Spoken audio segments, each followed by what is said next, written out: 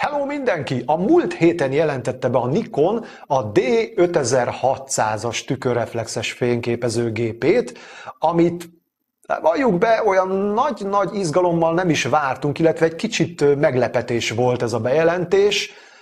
Sőt, például az Egyesült Államokban meg sem fog jelenni ez a fényképezőgép, viszont Magyarország kap majd belőle, és az a helyzet, hogy a, az újdonságai alapján olyan nagy figyelemre nem is kellene, hogy számot tartson, és lényegében videót se kéne belőle csinálnom, de legyen meg, hogy mi a különbség az elődeihez képest, tehát nem csak a D5500-zal fogjuk összehasonlítani, hanem az egyel korábbi modellel, a D5300-zal is, tehát nézzük meg, hogy mik a különbségek. Először a D5500-as viszonylatában.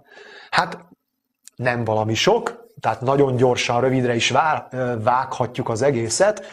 Az adatlap szerint, legalábbis az európai adatlap szerint ez a változat csak fekete színben fog megjelenni, még ugye megszoktuk, hogy a D5300-as kapható volt bordó és ezüst színben is a fekete mellett, az 5500-as pedig bordó színben is a fekete mellett, most csak a feketét kapjuk. Óriási, óriási a visszalépés.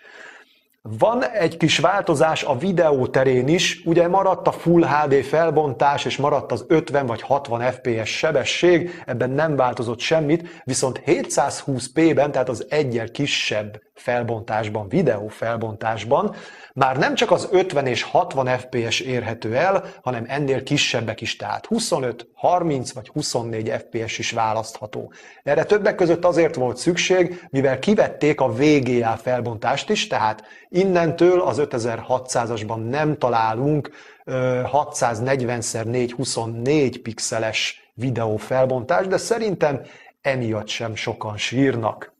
Ami újdonság, illetve több hír oldal és több adatlap szerint újdonság, ez a timelapse mód, bár néhány helyen azt találtam, hogy ez az elődbe is benne volt, és emlékeim szerint valamiféle timelapse mód volt már a korábbi modellben is, ezt újdonságnak írják, tehát timelapse módot használhatunk ebben a fényképezőgépben. Ami a legnagyobb változás, és a Nikon az újabban kiadott bármiféle tükörreflexes vagy kompakt fényképezőgépeinél ezt az új feature-t erőlteti, az a Snap Bridge mód. Ez lényegében a Nikon saját szabványa, egy saját kommunikációs Bluetooth alapú szabványa, de ezen kívül természetesen van benne Wi-Fi is, ami már az előző két modellben is volt, bár itt az adatlap azt írja, hogy csak 10 méterig hatásos, ez a vezeték nélküli adatátviteli módunk, míg az előző két modell esetében azt írt, hogy 30 méterig. És újdonság az NFC, tehát az egyérintéses technika, mondjuk a telefonunk, amelyik legalábbis támogatja, a telefonunkat hozzáérintve azonnal tudunk csatlakozni vezeték nélkül Wi-Fi-n a fényképezőgéphez, és természetesen ugye, ez már az elődökben is megvolt, akár mobiltelefonról vagy tabletről is távirányíthatjuk a fényképezőgépet. Gyakorlatilag ennyi az összes különbség, és ez a SnapBridge volt a legnagyobb különbség. Van még pár lejátszási mód, van olyanunk, hogy playback zoom cropping, vagyis valószínűleg a kinagyított képet, amit elkészítettünk, elkészítettünk és utólag kinagyítottuk, azt ki tudjuk vágni akkor a méretben, amekkorára belezoomoltunk, illetve van egy ilyen playback face zoom lehetőségünk, amiről még nem igazán tudom, hogy micsoda, hiszen eddig még nem nagyon találkoztam vele a Nikon fényképezőgépeknél. Hát valószínűleg, hogy képes csak az arcot érzékelve csak a képen lévő személyeknek az arcára zoomolni. Talán még, hogy minden kis szőrszálat széthasogassunk, azt is megemlíteném, hogy 5 grammal lett könnyebb az új modell, viszont a mérete az teljesen ugyanakkora, mint az elődé, de az az 5 gram, ez nagyon sokat fog számítani. Tehát ennyi. Itt látjátok egyébként kilistázva, felsorolva, amiket találtam, különbségeket a két modell között. De lépjünk tovább, és nézzük meg, hogy mi a különbség az 5300-assal, vagyis a kettővel ezelőtti modellel, mint mondtam, még nagyon sokan használják. Vajon nekik mennyire éri meg az 5600-ra váltani? Hát nem annyira, de sokkal inkább, mint az 5500-ról, Azt azért előjáróban el kell mondani, hogy ebben az új modellben is ugyanúgy 24 megapixeles APS-C méretű szenzor dolgozik, ugyanaz az autofókuszrendszer, mint akár a kettővel ezelőtti vagy az egyel ezelőtti modellben. Egy apró különbség a kettővel ezelőttihez képest, hogy itt a natív érzékenységi tartomány egy egész fokozattal nagyobb, ugyanis ISO 25600-ig állítható, ugye ISO 100-tól, míg az előttben csak 12800-ig volt állítható, és egy kiterjesztett értékkel lehetett megkapni az ISO 25600-as értékünket. A másik, ami, ami nagyobb újdonság, hogy a, legalábbis az 5300-hoz képest, hogy itt érintésérzékeny az LCD, ezt egyébként az 5500-ban vezették be, tehát már ott is érintésérzékeny volt. Az 5600-ban megkapjuk ugyanezt, érintésérzékeny kihajtható, ami ugye ennek a modell generációnak, vagy ennek a sorozatnak, az 5000-es sorozatnak az egyik ö, nagy emblémája, a kihajtható LCD, 3,2 colos, és egy picivel több mint 1 millió képpontos LCD-ről van szó.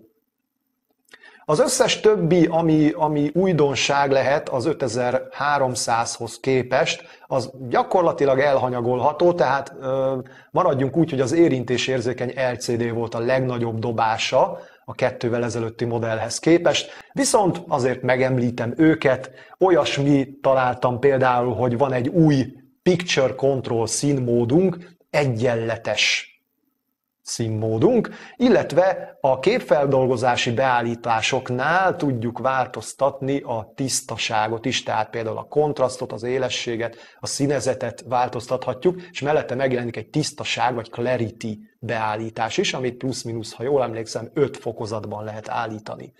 Egyébként valamivel kevesebb szoftveres szűrőhatás érhető el, tehát ilyen vöröseknek, vagy zöldeknek, vagy a kékeknek a kiemelése, ez kimaradt például az 5600-ból az 5003-hoz képest, illetve kisebb a kereső betekintési távolság, egy picit közelebb kell hozzá hajolni, de ez mindössze egy milliméter, illetve egy fél dioptriával az élességének a szabályzó kereke is kevesebb tartományban jár. Ezt most ebbe kicsit belezavarodtam, vagy nem. De. Na mindegy. Lépjünk tovább.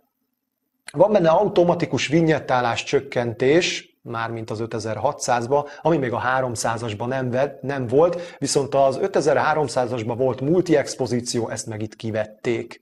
És akkor vannak még apróságok, például van egy FN gombunk ugye az érintőképernyőnek köszönhetően is, tehát azon is megjelenik egy ilyen funkció gomb, amire programozhatunk bármilyen ö, beállítást, illetve automatikus képelforgatást kapunk lejátszásnál, és a lejátszásnál, hogyha utólag akarunk valami beépített képeffektust rátenni, akkor kettővel többet kapunk. És ezen kívül már csak a méretében van különbség, a kettővel ezelőtti modell még körülbelül nem egészen, de körülbelül 10%-kal volt nagyobb, tehát egy kicsit összezsugorodott. Illetve, ahogy mondtam, ugye 5 grammal lett könnyebb az előthöz képest, viszont a kettőhöz, kettővel korábbihoz képest már egy kicsit jobban megérezzük majd a súly csökkenést, ugyanis 480 g helyett lett 415 g, így magában objektív kártya és akkumulátor nélkül.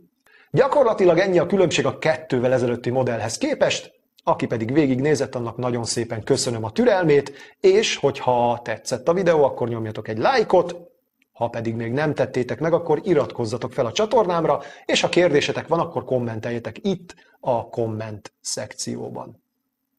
Sziasztok!